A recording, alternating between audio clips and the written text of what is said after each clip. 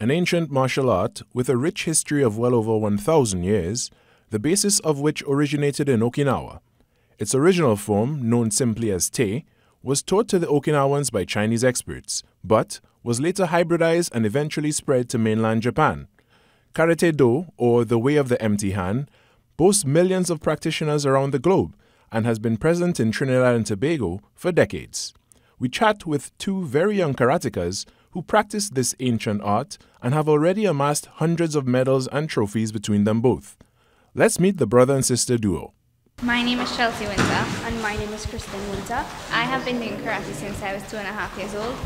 Since I was born, I love the discipline it encourages. Um, it helps us seek perfection in our character. We are faithful to the sport. We are able to express ourselves through the art form. I love that. I love the passion, as Chelsea said, the discipline it encourages, and I love everything.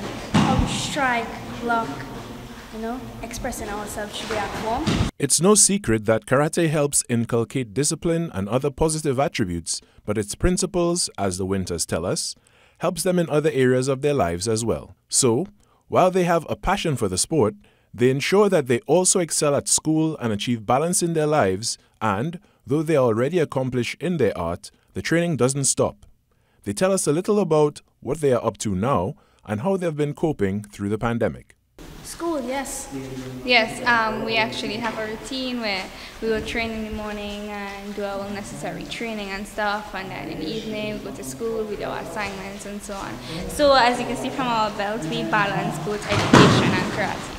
It's actually really good because our parent, our coping mechanism with our parents is really good to help us with our Time management and Time stuff. management. So yeah. So yeah. Through their karate school or dojo, Team Elite Karate, they have participated in numerous competitions and tournaments which have pitted them against opponents from the region and internationally, against whom they have copped many deserved victories. I started competing since I was three, and Chris, since Since since I was old enough to do to compete, I was competing. Curacao, so throughout the Caribbean, throughout the Caribbean. Yeah. Nationally, and also with the COVID, we have our parents, our coaches, sign us up for online events, which we were also successful at. in England and Switzerland. The Winter siblings also share their greatest aspiration for their martial art career. We would say, Reaching the highest level, which Yeah. is the Olympics, and winning and making a medal.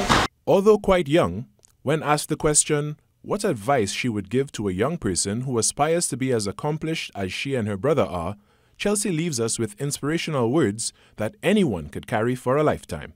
keep focused. I would say, be humble at all times. I would say, always be respectful and keep positive. So, as we see with these young champs, finding something you love, putting in the work, sticking to a plan, and having the right support system around you is what makes the difference between success or failure, whether it is martial arts, academics, or anything else for that matter. As for me, I have some rust to shake off. I'm Carrie Roberts giving voice to Generation Next for TTT News.